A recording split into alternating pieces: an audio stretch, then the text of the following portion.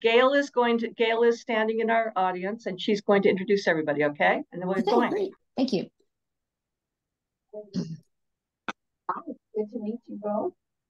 Um, hi, everybody. I'm Gail Maslish. I am here representing the foundation tonight.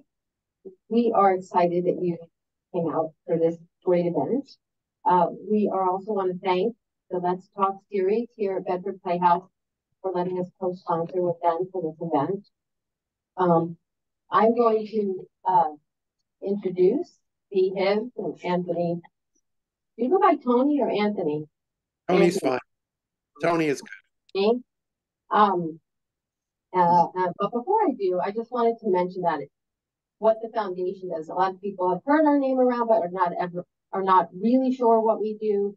We are an organization that helps to raise money to support the school district, all schools in the school in the Bedford Central School District for academic and social emotional programs. So if that's something that you feel strongly about supporting, we um, we'd be happy to have it take donations after the event. Um, we're always looking to support the teachers with the grants that they send us. So the more money we're equipped with, the more we can support the district. So with that, we'll go into the, just going to introduce our authors. So um, both uh, Tony and Bee have written books called what the first the book prior to this new one that's coming out called Stressed Years of Their Lives, helping your kids survive and thrive during their college years. And that's it. I have it here. Um, it's a guide. Lost my thought. A guide for parents of college students who want to help support their kids' mental health. And they are have a book that's just coming out, which we have up there, um, called You're Not Done Yet, which I think we, we even feel, I'm a parent of a college student. I think we feel like that in college too. But when they're, when they're out of college, you still, I've been hearing my friends saying that to me as well. You're not done yet parenting young adults in an age of uncertainty. And that's a new book that's coming out. It is available on Amazon pre-order. So if you want to look for it, find it there. Um, and it's a clear-eyed, optimistic guide for parents with adult children who need help navigating the challenges to launching an independent life. B Hibbs has 30 years of clinical and academic experience and, and is a recognized authority on family issues with a focus on parent, child, generational, and partner relationships. She is also the author of Try to See It My Way, Being Fair in Love and Marriage, duly licensed as a psychologist and family therapist. Dr. Hibbs holds the highest credential in the marriage and family therapy field as an approved supervisor for the American Association of Marriage and Family Therapists. Dr. Hibbs is also the recipient of the PPA Psychology in the Media Award for 2021. Congratulations. Thank you. Tony Rostain is Chief and Chair of the Department of Psychiatry, Professor of Psychiatry and Pediatrics, Cooper University Healthcare and Cooper Medical School, Rowan University. Life Fellow, American Academy of Child and Adolescent Psychiatry, Gold Humanism Award, University of Pennsylvania, 2017, and board member of the Higher Education Mental Health Alliance. Dr. Rostain's research interests focus on improving clinical outcomes for patients across the lifespan with neurodevelopmental disorders and on creating effective service systems for these patients and their families. So with that, um, we're going to have the pleasure to hear them talk to us about their most recent book and their philosophies and knowledge, and then we will open it up to questions. Thank you. It's a pleasure to be here. Thank you so much for inviting us. I want to tell you a little bit about why we uh, decided to write this book. Um, first, our agent reached out to us. This is during COVID and said, Oh my gosh, everybody wants to know what's the new normal. And so Tony and I betted that around for a while. And um, the preliminary title of the book was The Tyranny of Normal, which is kind of what the marketing team came up with, but we didn't really like it. And so, um, backstory is you know, we tried, you know, to kind of go, well, they're, you know, new normal. Like, I mean, this was all during COVID. It's like, who knows? Like, what we know is that uncertainty is normal and that we're going to keep having uncertainty and we're going to keep having kind of a rollout of the after effects from COVID the, on young adults, but also on their parents and their families. And um, so, as we kept trying to explain to others in a really shorthand way, elevator pitch, what's the book about? I kept finding myself saying, Well, you're not done yet. Like, you're not done yet as a parent. And so that's how we came up. You know, Tony and I were like, Yep, that's so true, isn't it? So, part of what we want to say to parents is that we think families are so important and parents are so important. And as a mom, my best credential, um, I got really tired of having parents, especially moms, pathologized as, oh, you're the helicopter mom or you're the this or that. And so many books that are written for uh, people in their 20s uh, really cast parents in these usual tropes of like hovering, overbearing, uh, the people that the young adults have to recover from. And I'm like, wait a minute. wait a minute. We worked really, really hard to do everything we can to support this young person, even if they still need our support, and many do. So I also wanted to correct the impression, and Tony and I wanted to correct the impression that many parents have because parents have a hard time talking about, like, yeah, my kid's not exactly doing okay. And because we all think that, like, somehow um, after some tracing of our own young adulthood, you know, our kids will have hit the kind of big five markers of adulthood that sociologists turned out in the 50s, kind of outdated. um, that I hit, probably you hit, um, which was like finish your education, get a job, live independently, find a partner, settle down, get married, have 2.2 children. Well, I didn't hit the last two. in all honesty, until my 30s. And that was like ancient by then, right? Because most people in that era, um, between the late 40s through the 1980s, hit those markers in their late teens to early 20s. So if we go on our own kind of blueprint of young adulthood, you know, there are these kind of polarizing narratives. Parents are like, what's wrong with kids today? Like, what are you not getting on with it for? And kids are more like, uh, your generation ruined ours, it ruined the climate. There's all this like cross talk that blames, you know, the generations instead of saying, you know, we have a shared mission. And the parental mission is always let us help you launch your life. And what we wanted parents to understand is first of all, that outdated notions of what's normal now for young adulthood um, are massively outdated. So in 2020, and this is before they started doing all the COVID research, only 24% of young adults had hit these five adulthood markers by age 34. So it is harder for the young adult generations today and it's not because something's wrong with them or they're over entitled or babied, or it's a big socioeconomic hit that happened when the US stopped becoming the economic superpower, the political superpower, and that began to happen in the 80s. But people didn't really have the kind of tsunami hit from that until like the financial crises of 2000, 2008 through 12 and then it's like just when we thought, okay, we can come up for air again, then there's COVID. So there have been all these like enormous kind of crushing pressures on young adults, but also on parents. And one of the things that we really wanted to help parents understand was how extensive their support of young adults has been. So not only is it a decade longer it is going into arguably the most decisive decade of a child's life, where they're going to make incredibly important decisions. And parents throughout that decade still have questions of will my child, will my young adult be okay? what do we need to do? What do we need to make sure of? And I think one of the reasons that the Sam Bankman Fried parents have gotten such kind of obsessive attention in the press is that it's a little bit like driving by a car crash and going, could that be me? Like, I've tried so hard. I had all these great hopes and dreams. How did this happen? That is clearly a super exaggerated, like, um, story.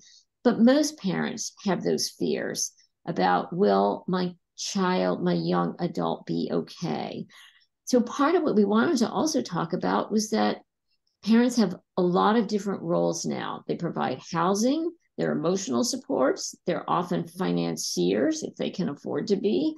They often are career counselors, as many young adults have the questions of like, is college still the right ticket? As more and more colleges see attrition from like the enrollment roll so part of what we're wanting to do also is focus on parental mental health because parents may be surprised to know that even though there's enormous attention and support for parents who are caregivers to their parent generation, there are more parents who are caregivers to their young adults than to their older parents. And those do not make the headlines.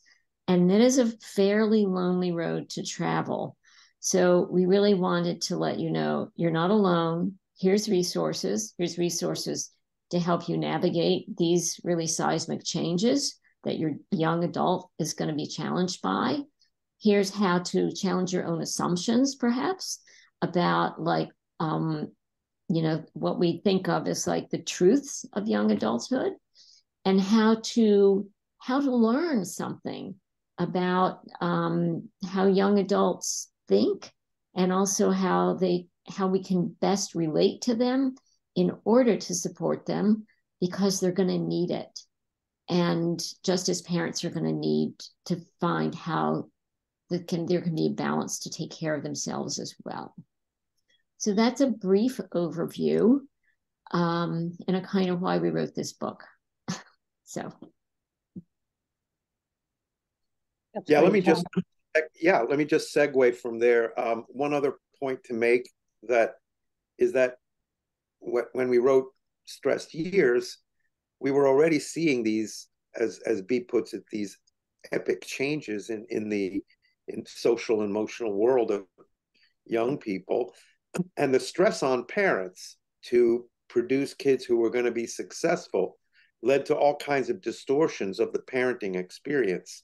And we remembered at the time, as we were publishing the book, the college admission scandal came out and people were again in one of these other in the spotlight what were these parents thinking but but b and i saw it as no they're just acting the same way most parents do they're trying to maximize their kids odds obviously right. they took it too far mm-hmm. but the same pressures are were everywhere that we could see was parents were really paralyzed with anxiety and felt obligated to be those quote helicopter parents because the circumstances had changed. And we sort of wanted that book to help A, encourage parents to understand why it's harder for their kids, and B, what, what to do about the pressure on themselves. So when we were asked to do this book, you know, it was like even clearer that college doesn't end, you know, college, going to college doesn't end your dependency as a young person on your parents. So that was why, you know, we we felt good about writing this book. Um, I guess I wanted to focus on one, I guess two two important areas that I've been focusing a lot of my work on. One has to do with the the difficulties that we encounter with young people with managing the complexity of the world, something we might call executive functioning difficulties. You know, and we we wrote about this in the first book, but spend a lot of time in the second book really focusing on what does it mean that you know you can't manage so many things all at once. You know, in a nutshell, executive functions are the things that allow us to work towards a distal goal and not get distracted and not get discouraged and work towards that goal relatively efficiently. Um, and, you know, it includes not only being able to regulate your attention, but being flexible if things don't go your way, finding another path instead of, you know, like rigidly pursuing something that isn't going well, being able to, you know, inhibit your impulse to do things or this sort of search for gratification. Um, being able to say, "Oh, I, I, could, I can have fun later. Let me get to this task."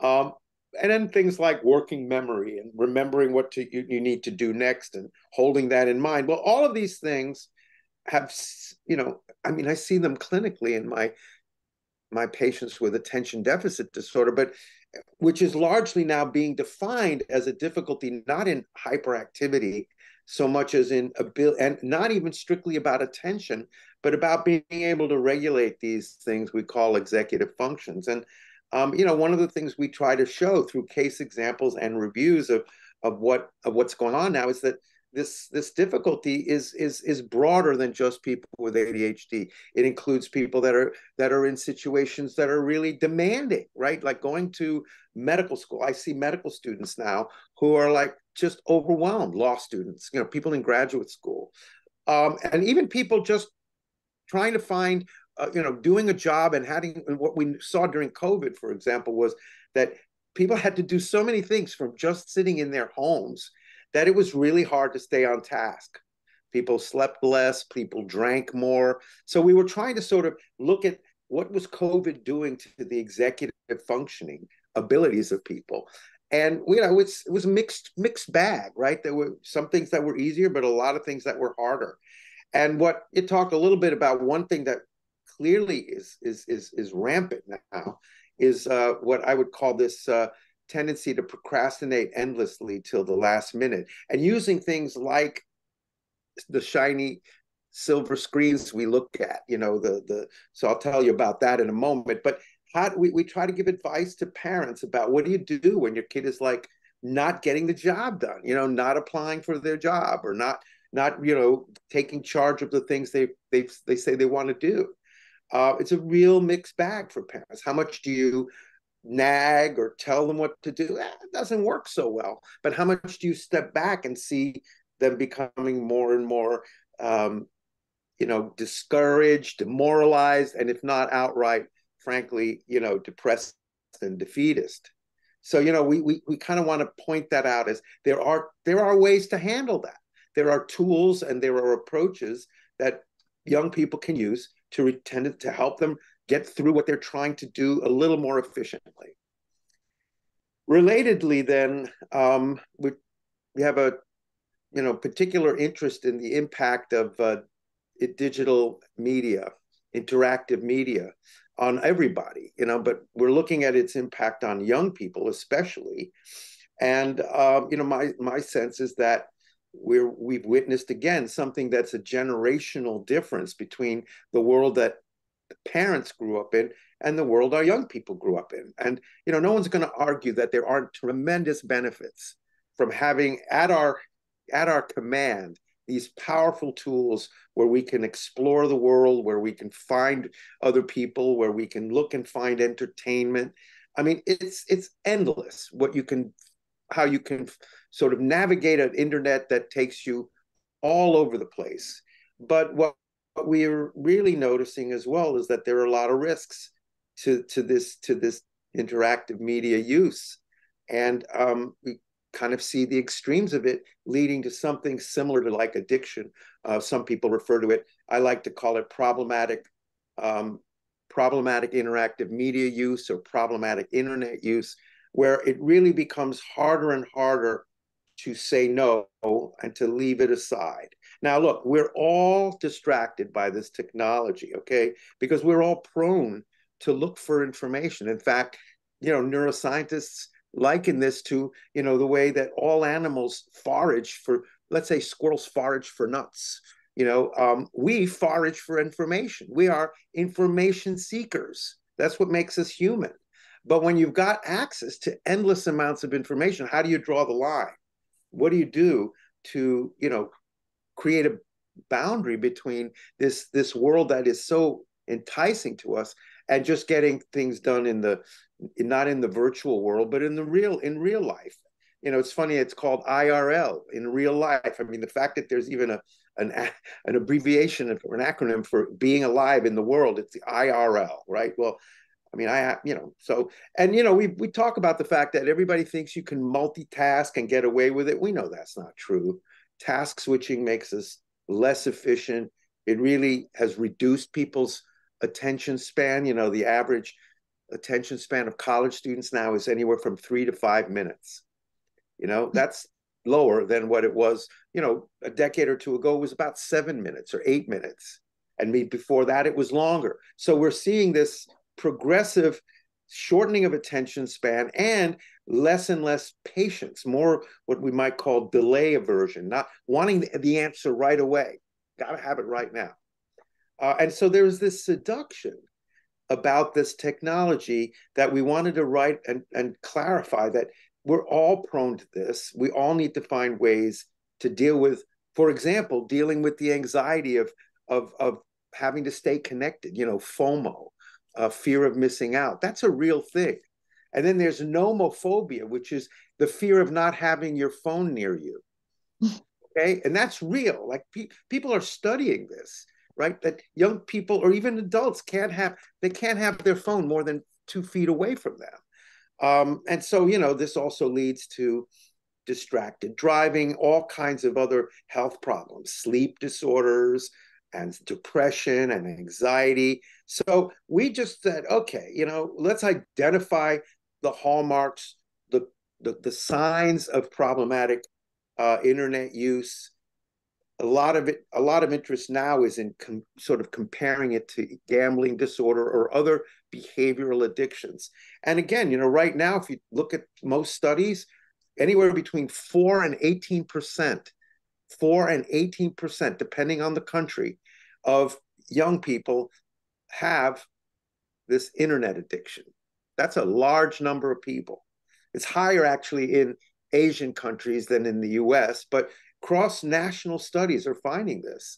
Um, even in the US, it's between 2 and 12%. Okay. So, what we try to do is talk about not only parents looking at their social media usage or and but also you know thinking about how to help and point it out to their to their young person um, and and the, the way you take charge of it you like anything else you know you have to turn it off you have to put it aside you have to limit your access to it and then shift your focus to the things that make you feel alive without having to be constantly checking your your phone um, we do also talk about taking care of yourself throughout the book um, and you know taking time for reflection and gratitude and mindfulness and exercise. These are all the things that get really, um, really undermined by this constant uh, checking and this constant um, looking at. And you, you, you all see this. You go out to dinner anywhere,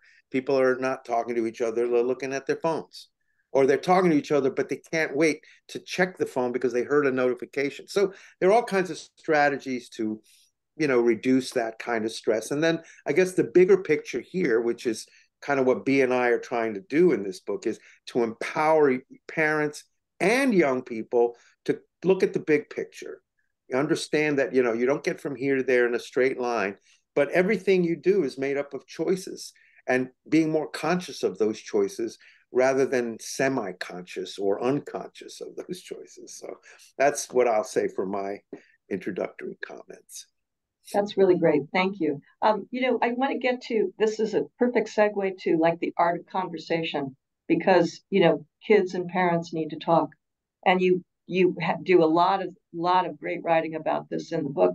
So, can you talk about a couple things that might help our audience? What's what's careful listening? What's fast versus slow talk thinking? And also, can you talk about therapy and talking with people about how not how you're not trying to win all the time.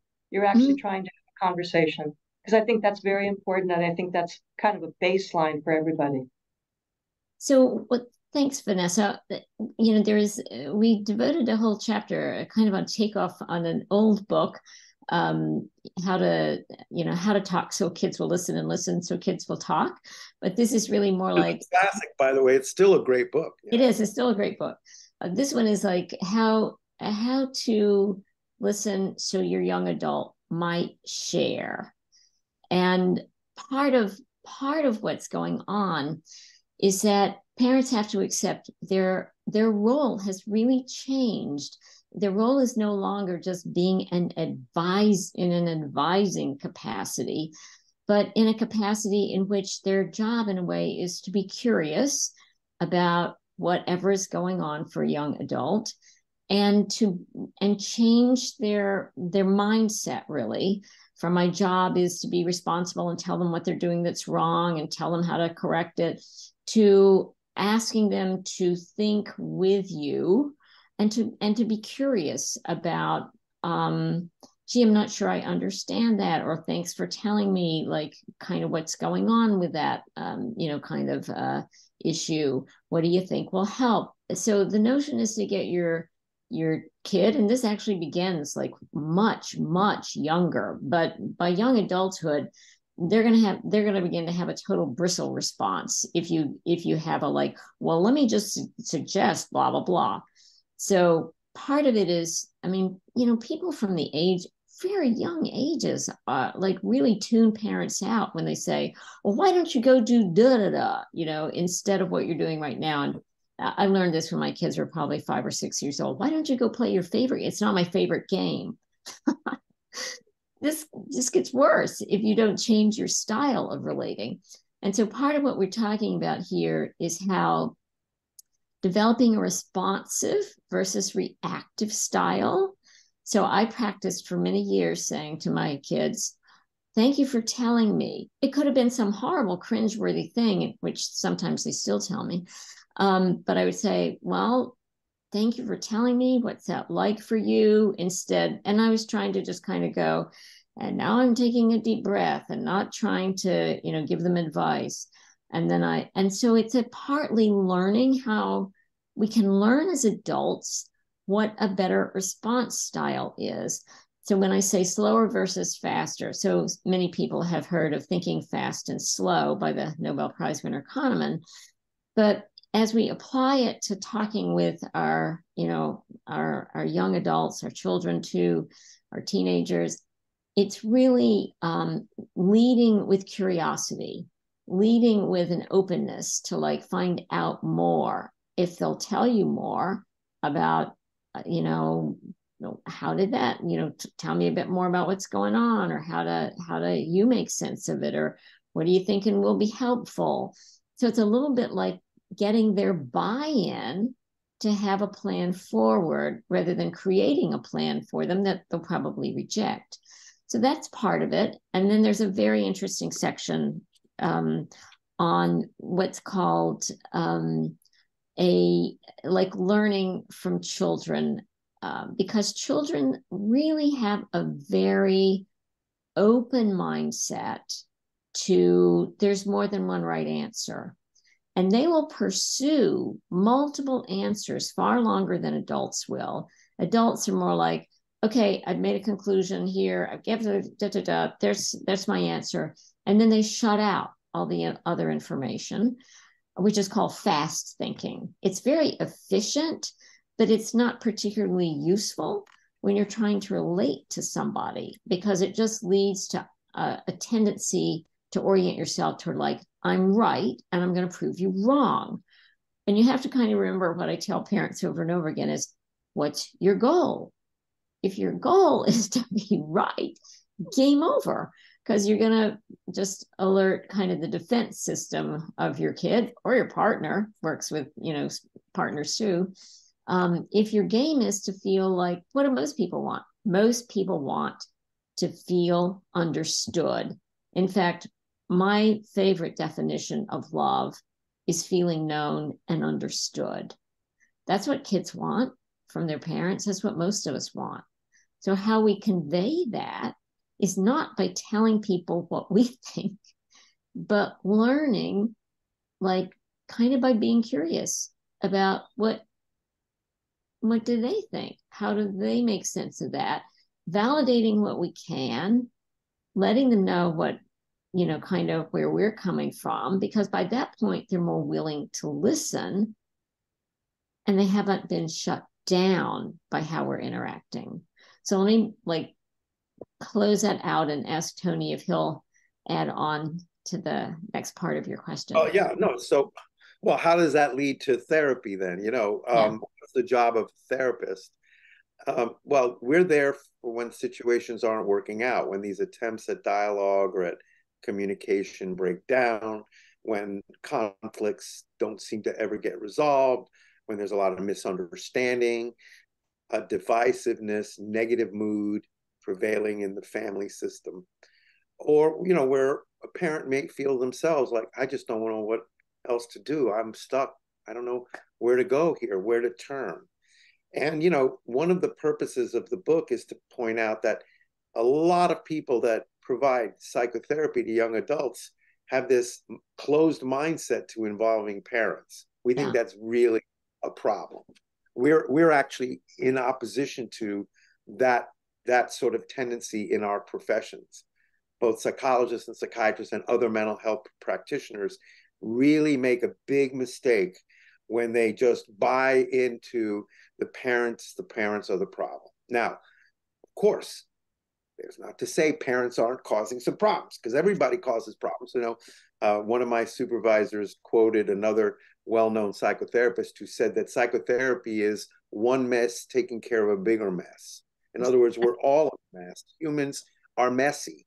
We're we're uh, we're not like perfect in any respect. But when people feel stuck, what practitioners like B and I do is invite anybody who's willing to come in to talk about the situation. So we've had stories in the, in the book where parents want the kid to come in, the kid doesn't want to come in. We say, okay, we'll meet with you. Hmm. You know, or the kid comes in, but he doesn't want to meet with the parents. Okay, we won't meet with your folks. We'll start with you, but eventually we're going to have to talk with them because you guys live together. And and you know, some of the stories evolved out of the recognition of these the new reality, if you want to call it that, that COVID imposed on people, which is for some families, COVID was a blessing. They got together more, they got to know each other, they spent time together. It was like refreshing.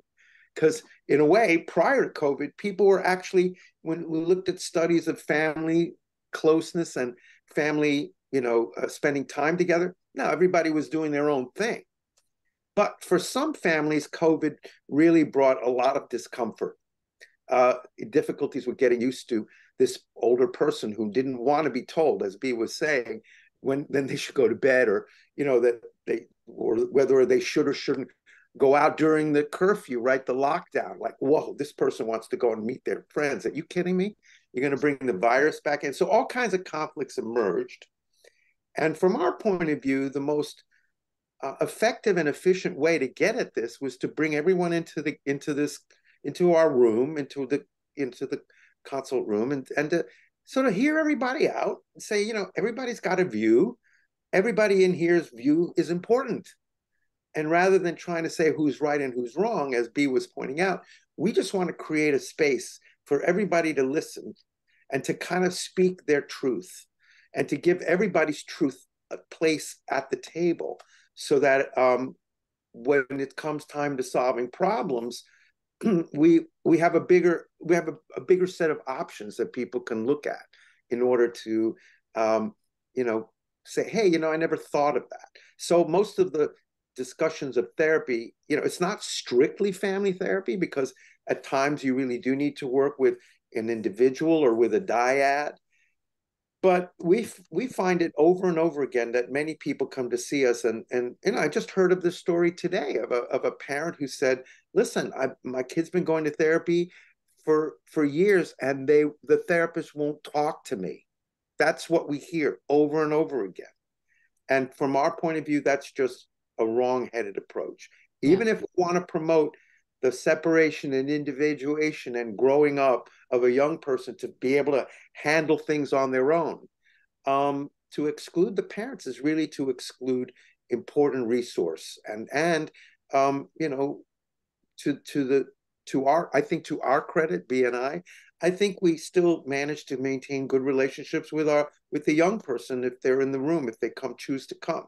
Mm-hmm. Um, so that's really what therapy, from my standpoint, and I think B would agree, is creating a, no, a new place for solving problems. It's not for settling scores or proving who's right. It's, hey, you guys can't seem to solve this problems that you're having. Maybe by coming and talking, we can come up with new new strategies. You can come up with new strategies. We can foster that change process. Now there are more and more directive therapies now around specific kinds of problems, substance use, depression, uh, trauma. Like, of course, we need those skills too. But but what it really comes down to, it's kind of like across all the different therapies, no matter what the orientation, is is a respect for the individual and their experience of the world and the ability to to link and connect with that experience and so that the person trusts that the process will be something that that even if it's difficult um, is worthwhile great. Big b did you want to say something? No they, you- okay. We're gonna take, we're gonna take a question from the audience. Does, who has a question out there or a comment or something to talk about?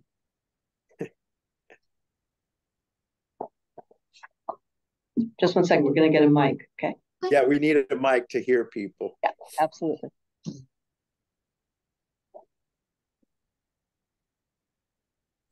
Hi, um, thank you. You're fascinating. I have a million questions, but so my situation is I have a 27 year old who's failure to launch, you know, nail. Uh, my question to you is, am I his roommate? like, I don't know how to, you know, I, the other question to B is, like you talked about that bristling, like how do you undo the bristle? Because we'll definitely have the bristle. And can you, like at 27 and 61, can we undo all of the 27 year old bristling that I've done to him? And I don't really like, am I his roommate? Am I, I mean, I like, I'm his roommate until he decides that he can't make a decision and he's got to come up from the basement. And I don't know how to do this. Okay. thank you for Um, sharing that by the way Yeah, really. Thank you for sharing that. Let me let me start off with the bristle, and and maybe we can uh, go from there with Tony. um, you know, one of the things that is disarming, I think, to a young adult is to just own up to the mistakes we've made. Um, and so I'm going to give you an example in my own life. my mistake um, is I go on too long with uh, all the convincing research that I think will be helpful to. Uh, this is like one of my young adults. This is a few years back. Anyhow, he would begin to literally back out of the room. So we can call that a bristle effect, right? It was kind of like he was really done with like my going on so long. So finally, I said to him, um, I realize I go on too long, and you're probably tired of me hearing saying the research shows. Um, they would also tell me what they had already archived of my material. Um, and I said, So, what phrase would help me know when I've gone on too long? I'll try really hard not to do the fill in the blank, but I, I, I probably mess up. What would help? What can you tell me that would be a neutral way for me to know I've gone on too long? And he said, How about fire hose? and I said, Okay, fire hose. So when you say fire hose, I'll know done here. Like I went on too long. And and he would say that. And I say, I got it, thank you. And then we disengage because he was totally on overload. So part of it is recognizing that, I mean, we all make mistakes you know, despite our best intentions, despite what we believe is in someone's best interest, um, parents feel terribly responsible um, to be helpful, to tell them there's actually a new form of therapy called listen to your mother. I'm serious. so we all feel responsible for telling our kids like what they should do, need to do, would be in their best interest, blah, blah, blah. And then kids get sick of it, right? So part of it is just owning up to that. So if, if you know, as uh, you know, uh, in speaking to you individually, um, what drives your son nuts, then you own up to it. You say, look, I know you're like cringing when I begin to talk about da da da um how can we undo this because i'm i want to change what drives you nuts or what's getting on your nerves And I will do everything I can to change that. You tell me what would help you. And then if I still make that mistake, let's come up with a phrase. It's not mean or like super blamey. Um, that I'll know, uh-oh, there, there I go again. Now I don't know if that will work for you, but it's very effective in many families i see. I just I always tell people I've tried this and it works. I never tell people do something I haven't tried. So that would be a starter point. Um, I think what you're also addressing, and I'm going to turn to Tony, is like, but your son is avoiding you. He's staying in the basement, it sounds like, as much distance as he can. Which may be appropriate it may not be. I mean i think there's some feelings you're having about how he's hurting your you know he's he's avoiding you. You may feel like he's being disrespectful or you know not really treating you fairly. And you you start off with a humorous question. Is he is he my roommate? Well let's supposing he was your roommate. What would you expect of a roommate like don't roommates have to figure out what their arrangement is? And so in a way you're asking a fundamental question that we can't answer for you which is what are the expectations each of you has of the other one? And in what areas are you meeting them? And in what areas are you not meeting them? You know instead of it being sort of black and white you know this is no good. It's well there are things we do okay and there are things we don't do so well and there are things that are we're not good at at all. And then the other thing is to so hopefully the question could be posed something to the effect of well you know we've been living like this for a while how do you think things are going like are you happy with the situation we've got ourselves in here? I, also I use the phrase, we're sort of stuck together here. So what do we do to make this experience a little better for each of us like we're in a rowboat together or we're we're doing like the uh, you know we're in a crew boat together like if we're not rowing together we're kind of going around in a circle. I mean you can use all kinds of metaphors but i think your son should be invited to have a conversation not about why aren't you doing this chore? or why haven't you found a job? or why do you stay in your room? because those questions aren't really questions. They're actually criticisms you know framed in a question. And when whenever we ask someone why by the way not a good question because when we say why there's a hint of first of all a lot of us don't know why we do things. In fact there's some evidence to suggest we make up explanations when in fact but why we do certain things is totally different from why we think we do things. Hmm. so rather than you know it's like i would say that focusing on the experience what's it been like for you? What are the things that you like about this arrangement we have? What are the things that aren't working for you? And i'd like to tell you what it's like from my side because we are roommates and you know it's not a, it's not going so well from my point of view but i also think we can do better and that way, emphasizing we can do better, we can find a way to make it better. And then, like, for example, if there's something that you see that you like, B, B pointed out a trigger. When she starts to do something, young person backs off. So B asks, What's going on? Like, what am I doing? And they're saying, You know, you're being a fire hose. Oh, okay, I'll stop. I'll turn off the spigot and guess what? They don't back away as much. And so that little micro change in her behavior by giving the her son a chance to say enough already in a nice way gives the young person the sense that oh i can influence my parent they are listening um, and so then it becomes less conflictual it's never sort of it's like little steps like that little rapprochements um, and then the other thing I would really suggest, and this is something like I, I didn't get to say much about this, but you know, initially I was pretty confused about why do kids spend so much time like in their rooms playing these video games, you know, and, and it worried me, uh, even with my own kids. And um, then I began to watch what they were doing. I realized, whoa, those are pretty cool things they're doing.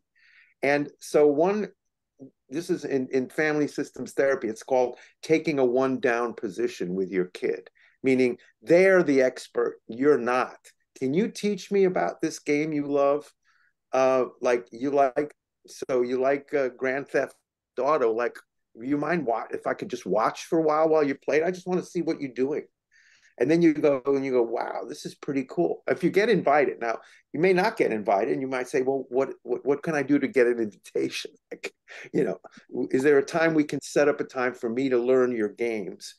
And you know a radical next step would be to invite have your your son invite you to play one of these games with you. So you can hey you can show how terrible you are at it and they can laugh but at the same time you know that you're really curious and interested i think the statement that b made in the first part of our talk was if you maintain a stance of curiosity that immediately changes you from being judgmental to being open like what's going on here is the best question i think we can ever ask about ourselves, each other, the world. What's going on here? Like, hey, wow, whoa. And that way it's non judgmental. It's really about trying to figure it out together. And what an incredible thing you just said about why. I'm never going to ask a why question again, ever. well, unless it's a no, unless people ask first. Like I wonder why I like sometimes people come to me and go, Dr. Rostain, why do I keep doing the same stupid thing over and over again? And I go, that's an interesting question, but they're bringing it up, not me. and, and again, I ask, by the way, I also point out to them, is that, a, are you asking why in a self-critical way? Because it sounds like you're pretty upset with yourself for doing the same thing over and over again. So maybe we ought to take a different mindset towards the pattern you're in and be a little less judgmental because we need to understand where it came from. We have another question.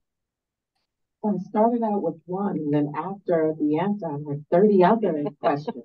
I will say my son introduced me to a game that I actually like more than him now. And so he joked and he's like, Mom, I don't know like what's going on. Like so he, he thinks it's pretty funny. But my question for you is is like thinking about I'm just curious if you've seen any socioeconomic like differences in like the parenting uh, behaviors. And I'm a younger sibling, so I have a brother who has like post college child, and I have to remember not to be judgmental of my nephew living in the basement, right? Or my brother, and like, you know, really reserve myself from asking what, why, what's going on, because I did get grow up in a different time where you are expected, right, to like move out and chart your own life. But then from a diversity and socioeconomic perspective, parents previously in certain, you know, races just couldn't afford to keep raising you, right? Like you have to kind of get out. So I'm just wondering if you're seeing any differences, um, or have thought about that. And then if, you know, how do you recommend me not to be so judgmental of watching what's going on in my brother's household. I, missed the part about the brother and there was something about college. I'm sorry, there was a little fuzzy. Uh, I couldn't hear um, clearly. So yeah, so I have a nephew that's you know 26 right now and living in the basement. So same thing. And, and I have to try to reserve my judgment on that, right? Because we grew up differently or whatever. So I find myself needing to check myself. So the question is, you know, are there um, recommendations for how how to be empathetic, right? Or or to like recognize your own judgment um, and then two was about the if you've seen any of any socioeconomic differences okay. in kind of parenting, rearing, and right. pushing for children to to be kind of off on their own. Got it. Um, Tony, can, I, I, go I mean, yeah. Oh no, you you go ahead. I was just going to say one thing. I think it's great that you're asking the question, how can I be less judgmental? Because that means you already suspect that there's something about the way you're you're viewing your nephew that may be a little unfair to him and to the circumstances in which he's finding himself. Uh, we always, B and I always ask the question though, is is there something about that 26 year old living at home that's causing a problem for him, for the family? If so, what kind of problems are being caused? Because as B said earlier, the majority of kids his age are living at home. All right, this is the first time in 100 years that that's been the case. Mm-hmm. Uh, of course, lower socioeconomic families have actually always lived that way with right. being in the if not at home right around in the neighborhood whereas higher mobility with higher income families the nuclear family that was disseminated across the, the country became more the norm in the post-war period. But we're going back to something that was common in the 19th and 18th centuries right? Mm-hmm. that's what so so the question really is is is is is your nephew having a problem and trying to leave but can't? Or do the folks want him to leave and he won't? I mean is is there a conflict around that? Or is it just that he's living the same life that many of his peers are uh, and it's sort of part of the new normal if you want to call it that i don't know b go ahead i didn't want to yeah no it's like I just i just wanted to add it's like um the default position for more than half of young adults, and those are in your 20s, and that would be the, the age of your nephew. Um, they have um, is multi generational living in their parents' home, not with a partner, not with friends, not on their own. More than half of young adults in their 20s are doing this. So it may be that you don't see that very much, and it's really, really different, you know, than what you know you would have expected as Tony's saying, absolutely, it's it's partly a function of you know the parental resources available, and we do devote a chapter. I mean, it's um, there's so much that became highlighted. It was true before COVID, but suddenly began to make the headlines in terms of the socioeconomic, educational, health disparities between the um, you know what you'd think of as, as kind of middle class and and lower socioeconomic classes and minorities, and then first gen to college, and um, what would happen, you know, to the young adults who. So most of them actually, I mean, in terms of sociological issues and parenting, they had the same parental investment, lower socioeconomic kids, um, from their parents, but they didn't have the same socioeconomic resources, material resources. So the parents could be very strong advocates of them. Like, you know, and in some ways, they didn't have as many options. They had to go get a job. Um, so, whereas it was really commonplace, you know, in the 60s, 70s, you know, the the college for all, Reagan's uh, mission back in the 80s, there weren't that many people who went to college they went right to work out of high school and you didn't really need a college degree to get you know man, a good manufacturing job you didn't need one to be a middle class and to support a family. Um, but now you need one and you and you need a college i mean there's some less discrimination about not having a college degree since covid in terms of employers being short staffed and trying to staff up but it's still a very high price tag um, you know, my my younger son, who's uh, I would say something of a cynic about college, says it's a very expensive ticket to say I, sh- you know, you should consider me for a job, and he's right. It's a very expensive ticket. Tony and I traveled to Canada this spring. They it's it's free, like uh, through community college and sometimes through college. It's free, and there are I mean, we sadly, you know, have a very capitalist driven system that penalizes people who are not well off in terms of their educational advantage. So anyhow, I'll I'll one, I want to add one thing to what you do. It's really important. Yeah, yeah. We have a whole we have a whole chapter at you know B at B's instigation, which was brilliant, is all about getting a job, you know, because you go to college, but your degree doesn't get you anywhere more and more, except what Will said is, you know, yeah. oh, it gets you a chance to say you should hire me. But but there are strategies even before college and certainly during college where you know we advise that you know that that that you begin to think about what is it that you want to do and do you need college or, or not and how do you maximize the chances of of finding your way to a kind of a employment that you feel good about that expresses you know your talents not just your interests because interests may not make it enough. You know, there are other ways to assess this. So the the a lot of the the I know that most of the people that I know and now, of course, I'm biased because people come to me when things aren't going well. So I'm seeing a, a group of people who are quote stuck. I don't like to say that they failed to launch because the word failure in that case seems like a you know an unfortunate heavy duty weight to put on people but they're stuck they're not sure they're trying to find their way Uh, virtually every single one of my patients who who I've started treating before or during the time they went to college after they got out of college unless they went into graduate school somewhere they're home looking for a job yeah. and they stay there sometimes more than a year you know and yeah. of course the economy is getting better now there are more sort of entry level positions with college degrees but you know no college does not prepare them it that's the big disappointment that everybody's realizing is you know what? College isn't doing it in terms of this economy for me unless the ones that you know were able during college to say oh this is going to help me and of course after college they immediately get into a good position. It was for a while the you know it kinds of majors you know computer engineering right. all that. But guess what?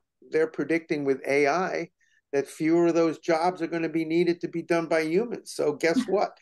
Now that same degree that was getting you a job five years ago they're not predicting that in the next few years. They're saying you know there's going to be a problem finding employment for everybody in uh, in going into um, the STEM the STEM right. major. So can I add one thing? Because I really want to thank the um, the woman who raised this question, and it was also an impetus for us in writing this book to recognize how much the generations don't really understand what happened that made it so much harder for this generation. And so your question is really meaningful because we're so unacquainted typically with anybody outside our bubble in a way who's different or has had a different experience, especially if they're younger. And it seems just strange like you know like what went wrong or something or maybe it was their parents or maybe it's them or and so we're trying to depathologize um, this. It's not that kids don't struggle don't have challenges may you know be not doing well like 26 or 7 living in the basement or something but um and so that can be another issue but um but it's a very common experience generationally because it's so vastly different than what we came to think of as normal um, to really understand what happened and so that's partly what we're after in the opening chapters of the book is helping parents understand what happened. Yeah. And i would just occur uh, thank you. Yeah i agree with b. Thank you for that question, it, it makes me wonder if you have a way then of taking what we said and going to your nephew and or your brother and just saying, hey, I want to understand a little more like what's going on here because it isn't to say because we don't know the data that you know a lot of kids are struggling not just because the environment has changed and the work the nature of work has changed but also because they are themselves less prepared mm-hmm. and it's not anybody's fault but mm-hmm. the and that gets back to what i was saying about executive functioning you know we, we really emphasize this in the first book too which is taking care of yourself getting up in the morning doing everything on your own it takes a lot of work mm-hmm. it's a mm-hmm. lot of energy learning to manage yourself learning to take care of business so to speak doesn't happen and it doesn't happen automatically and even college is sort of a protected environment. You know, you can learn a few things. You got to manage your time and study enough and sleep enough, which some people don't manage to do. And, you know, that's why it takes six years to graduate a four year college on average. But for what happens afterwards, gee, you know, if your nephew's having a hard time, like, like understanding then what's making it difficult for him to get to where he wants to be and being a good aunt in terms of listening, like we did I think, by, by the way, even though B and I wrote this, said about parenting, I think aunts and, and uncles and grandparents and, yeah. and they're all parts of the parenting group. Mm. Right. You know, it takes a village. So anybody who's around in this young person's life who can both get to know them and help them look at see what's what. Um, you know, my sister was an incredible resource to my kids, you know, because she's not, she wasn't their mom or their dad. And and they could tell her stuff and they could learn from her. It was really and, and same with her husband, you know, their uncle was real has always been like terrific. So I think it's great that you as an aunt are worried and you know hope hope what we've said is helpful. I, I just yeah, hi, this is Gail. Uh, I'm the one who's walking around with my but I, I wanted to just follow up, Tony, what you were saying about executive function with the question about executive function, which is if a young adult is having trouble with executive function and moving themselves forward in whichever direction they want to go. What, what, how do they start? Like, how does somebody start moving forward? Well, okay, so that's part of my other books that all have to do with kind of coping with ADD or executive functioning difficulties. Uh, there's all kinds of coaching available now. You don't even have to go to a therapist to start with. A lot of DIY approaches. Um, but you do have to work at it. The, the thing I tell everybody is it doesn't come in a pill, it doesn't come in a bottle. You know, it's like you have to learn to create new habits because we're all habit driven people. And we have to look at each habit we have and say, is this a good habit or is this a bad habit?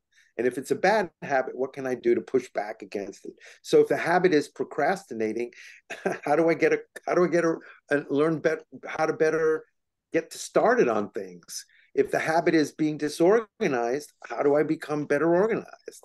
If the habit is losing track of time or spending too much time on the internet, how do I concretely tackle? And it's all about tackling one thing at a time and practicing, practicing it.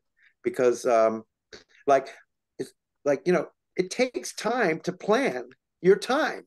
You can't just start your day. You got to plan your day, and it takes time to plan your day if you don't already have a, a structure in place. So I worry about a lot of the what happened in in, in sort of the COVID my, miasma is that people didn't have to go out and do things and come and suddenly they were they're home everything was at their fingertips now they come out of covid boom Ugh, they didn't factor in how long it takes to get from a to b or that you need to know after B, what you're going to do next and what you're going to, because it was all right in front of you, right on your desk. And that's why you know, a lot of people don't even want to go back to work because it's, they've gotten used to just sitting at home and, you know, the, the top is this and the bottom is their pajamas. And now they got to get dressed. They got to go shopping. They got to get in the car. They got to.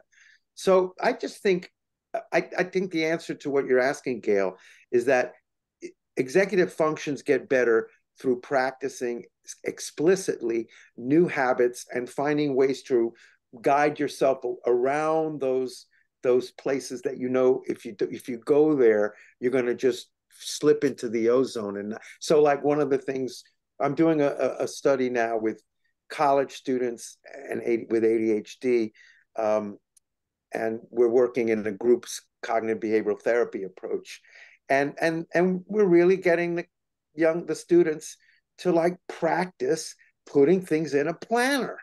Like, duh, a planner. Like that does help you stay organized. They'd never had a planner. Hmm. And that was all figured out for them. Now they have to use it. Guess what? After a while, they go, gee, this is really good. but it, the first time around, it's like it's hard. It's hard. Oh, I don't know how to do it. And we sort of joke. We go, well, the first time you tied your shoe, it was hard. But now look how easy it is to tie your shoe. I want to put a plug in for the book. There's another uh, question, but because you're talking in, in the book about thinking about thinking, you're talking about process. You're talking yes, about, I mean, about you talk a lot about different things, um, differentiation between hab- a habit and a disorder. A lot of really, I mean, there's just a ton of information and great thinking and writing about all these issues. Okay, we have a bunch of questions. Okay, sorry, and and, and then Melissa, and then Melissa. Okay, um, I can't wait to get my hands on this book. Thank you. Um, what advice do you have for helping launch your kid, knowing that the you should get tuned out?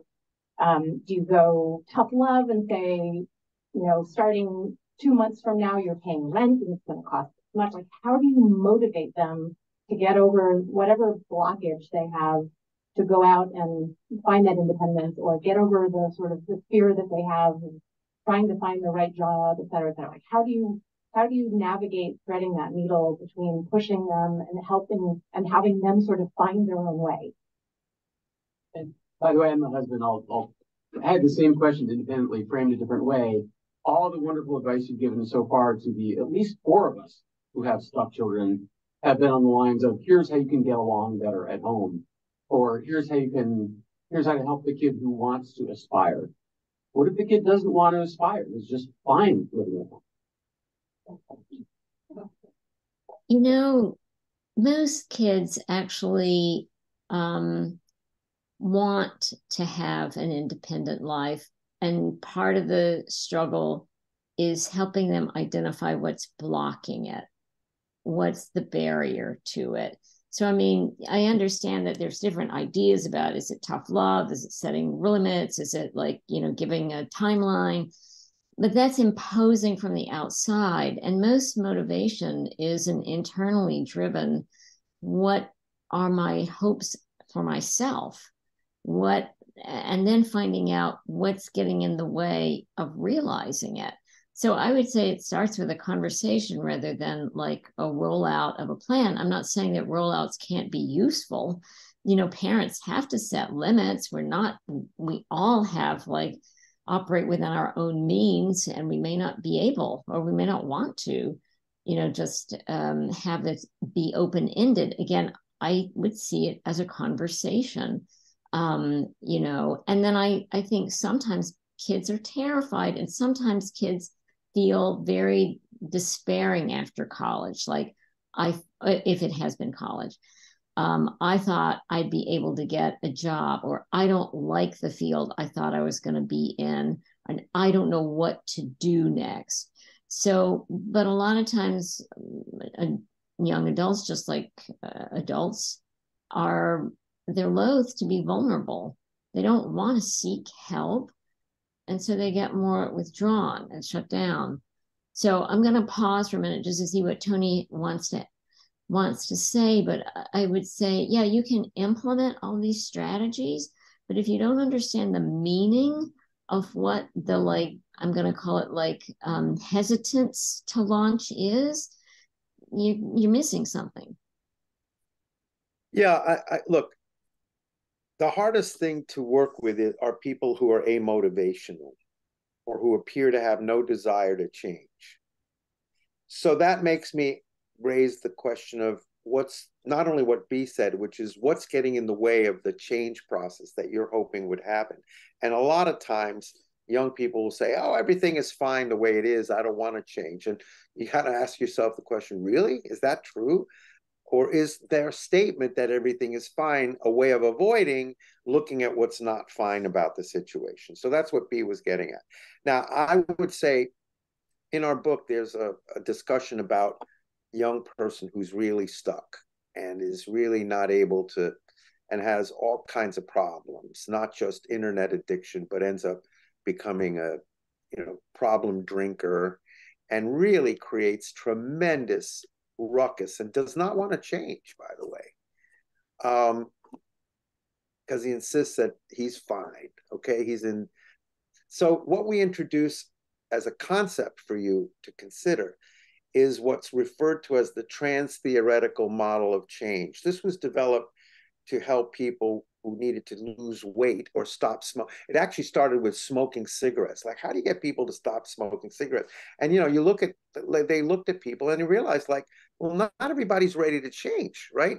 Even though they know they should stop smoking, they may not be at the quote ready for change. So you know, Prochaska and Clemens and other brilliant psychologists in the 90s, you know, began to like lay this all out and said, okay, are you in the pre-contemplation phase? That's sometimes called denial. That's what you're describing. This young person is saying, there's no problem here.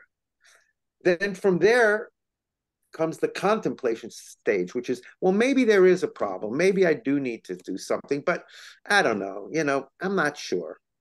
Then you move from contemplation to pondering or considering action. Gee, if I were to change, what would I need to do? And finally, there's the readiness for change.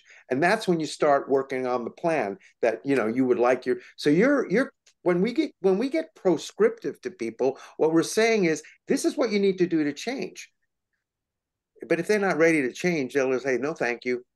Bye.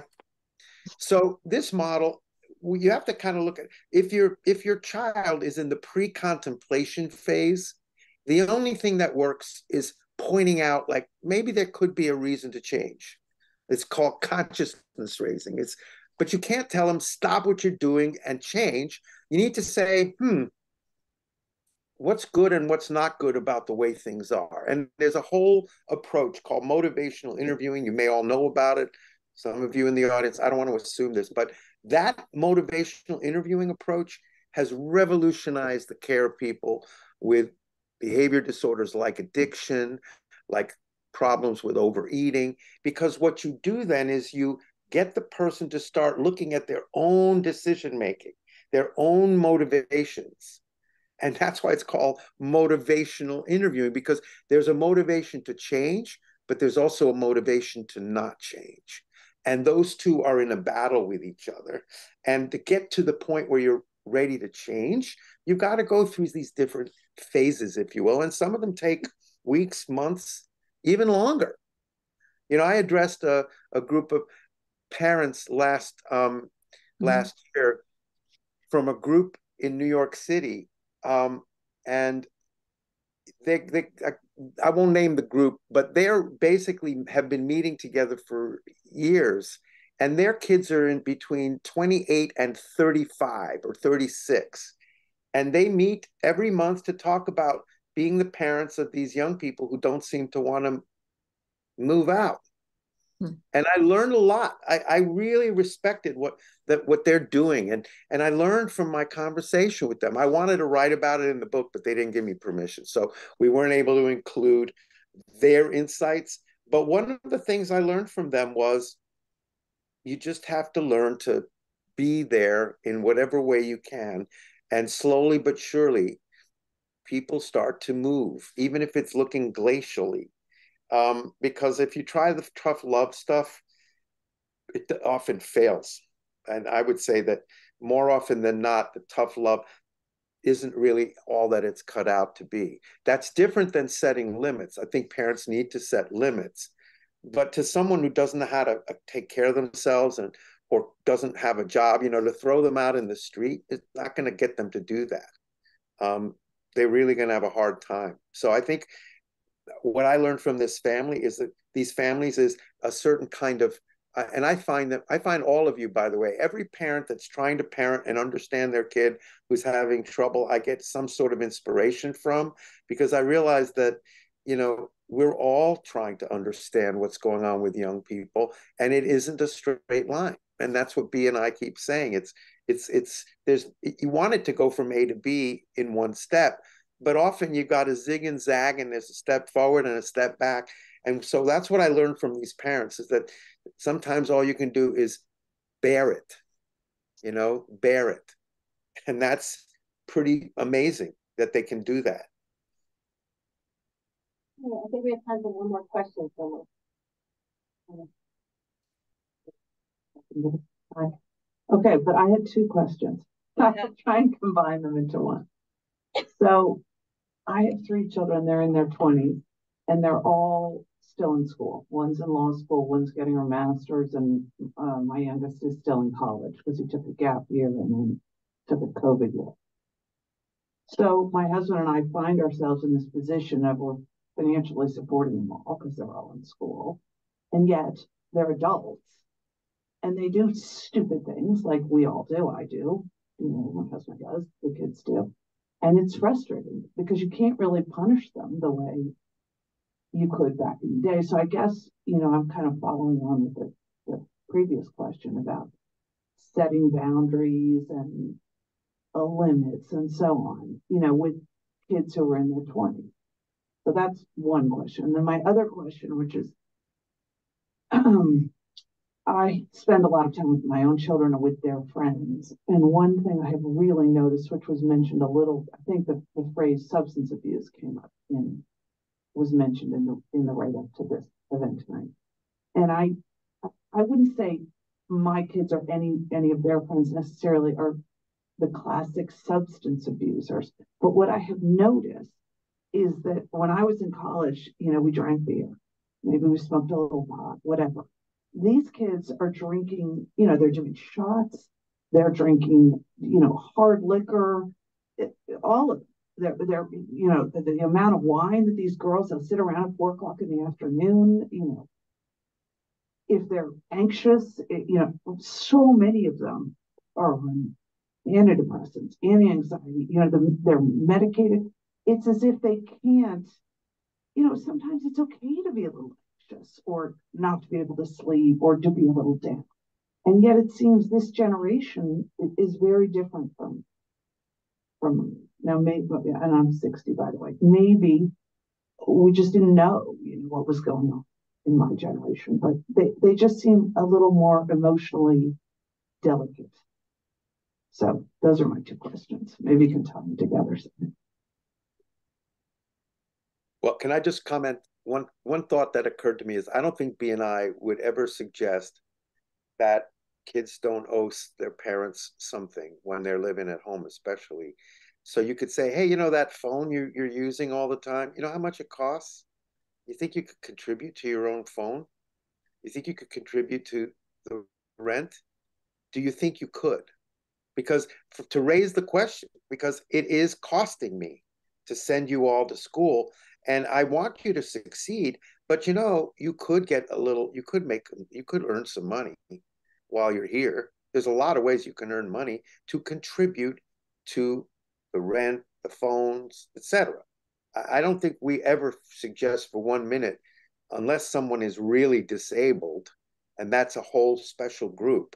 But for the most part, young people who are living at home ought to be contributing to the household, making it work. Because again, 100 years ago, when young people lived at home, they gave their whole paycheck to their parents. That was it. They didn't, they had a little bit of spending money, but mostly it went to the upkeep of the family. So I just think that concept is everybody should be contributing to the maintenance of this family in some way.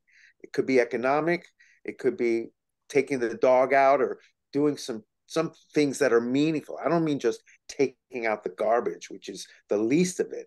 It is like making a contribution if they're capable, because they'll feel better too. They won't feel like I'm just a piece of nothing sitting on a lump in a log in my parents' basement. But I'll let B take that other question because that's a fascinating set of questions about the alcohol and the ways that people are self-medicating and I, will let I'll let B talk. So one of the things that we talk about in the book, um, there's a wonderful graphic. Um, it's uh, called "Shaking the Family Tree," and part of what may be going on, I don't know, but it's kind of an opening to that kind of discussion to say to whichever kid is sitting around drinking wine in the afternoon and maybe taking anti-anxiety meds too. Um, hey, you know, I don't know if I've told you what runs in the family because shake the family tree and like huge number of um, kind of genetic vulnerabilities fall out that that basically are in the psychological realm including substance use substance abuse and um, there are there is more access i think to substances the binge drinking age for girls has really climbed to the level that guys had had, you know, is kind of the record of. Um, and it, that's in the 20s. That's like in, you know, like early 20s to probably about 25 or 26 when they become basically more responsible for like get up in the morning, make money, and um, have a life. So part of it is that, and sometimes we haven't talked to kids about that, but I think why not? like if we haven't why not it, it's like it's not like we're throwing um, ourselves or an, an aunt an uncle or a grandparent under the bus it's like these are genetic vulnerabilities everybody pulls a joker card for of something from the family deck could be substances, could be vulnerabilities to these kinds of, you know, kind of um, anesthetic effects that you can get from a substance. So I encourage parents to just have a kind of like, I don't know, like if this might be going on or not, but like, let me just kind of let you know kind of what runs in our family because it is there is a there is an inherent an inheritability factor. So that's one thing. Having your you're also absolutely entitled to say you know what? I'm not comfortable having like a group of four or five kids hanging around drinking in mm, the house here um you know i've seen parents go like if you're going to eh, here's the here's kind of where my comfort level is, but not beyond that. So you have to kind of make your own decisions. And again, kids also look at what parents do. So, I mean, I've had parents who try to enforce rules for their kids about smoking marijuana or drinking that are more, I'd say, um, conservative than their own. So that never flies. But again, it's it's partly what's the context and and um you know there there's some benefit in seeing it so you actually know what's going on but you don't have to keep tolerating it uh, you do get to say what's concerning to you and like what you know and have a conversation about it um, but i think what you're describing also as tony's saying it's like if you're supporting three kids you know all through these years uh, what they contribute, whether it's helping around the house, whether it's doing chores, whether it's like earn a little bit of something or other. Um, that's fair. Um, and, uh, you know, when you said, are they more vulnerable? This generation uh, really, I mean, we've been tracking this since for 20 years. Yes, higher levels of anxiety, higher levels of depression, COVID has been something that is going to scar this generation for a long time in terms of some of what they experienced, went through, some of their losses. Some of them want to be um, called two years younger than they are because they, they say I lost two years. So yeah, I, want, I want to emphasize that. Can I okay. just? I want to. You go, go for it. What, what that what what you're seeing, which is being viewed Uh, on campuses as well, is that the the years lost from COVID did delay maturation and they're like looking to catch up and they want their time, right? So if they didn't have it in college, now they're back home. They want to do the drinking parties that they didn't have to a chance to have in college. Drinking is way up. It can it really skyrocketed, not just among young people, among everybody. The alcohol industry did very well during COVID. And if you probably you noticed this, there were literally online cocktail parties. People would Everybody would sit on Zoom. They'd teach each other how to make the latest powerful mixed drink, martinis of this or that flavor, and they'd sit and get sloshed and hang out and goof and laugh like as though because what they were trying to do was recreate a real party with people in their room but they were not they were stuck at home so i think some of it is what b you just said was right on is they're saying hey you know what i was deprived and you know i'm going to have my time doing what I want to do. And then the other issue, which I think is also hidden in there, is this sense of and and and is like, hey, you know, you adults, you screwed this up for us. Look at the world; it's burning. Look at all the stuff going on. You guys didn't take care of. Who the hell are you to tell us to grow up? Yeah. Now they won't say it like that. They'll do the quietly quitting. They'll do the, you know, whatever eh, what whatever angle they can get around and and i'm i am you know i'm part of me is trying to empathize understand as best i can and i have to deal with medical students and residents who really complain about having to be on call once a week i used to be on call th- two to three times a week mm-hmm. and you know days at a time and we give them one call at a week and they go that we're not that their work life balance is screwed up so there's a whole new uh, set of expectations about how hard you should work. And their response, by the way, when and I never try to say, well, when I was your age, because that won't go anywhere. What they do say proudly is, we're all about taking care of ourselves. so, like, what am I supposed to say to that? Yeah, we told you, we taught you to, to, to, to speak up for yourselves. You know, so now that kind of you reap you reap what you sow, you know. I, I, I hope I hope we answered your your question somewhat. I mean, it's clearly it's it's you're not the only one experiencing this, and that's why the book is written to say, hey, take care of yourself when you're feeling aggravated, and don't go for a martini. Go for a, a run, or meditate, or watch a nice movie, or you know, spend time with your your your partner, and just say, ah. it's like, what can you do? Melissa, did that answer it? I need a couple punishments. Oh, she needs a couple punishments. Oh, consequences. When they do things wrong. Logical consequences are the really most effective. Like if they left a huge mess after they, you know, drank in the living room or basement or something, the consequences um, you have to clean it up you have to wash up i need your help this is like you you know you left a big mess. So it's logical consequences are usually the ones that get the least pushback because they're like hey you should have the negative consequence not me you know from your behavior. Right.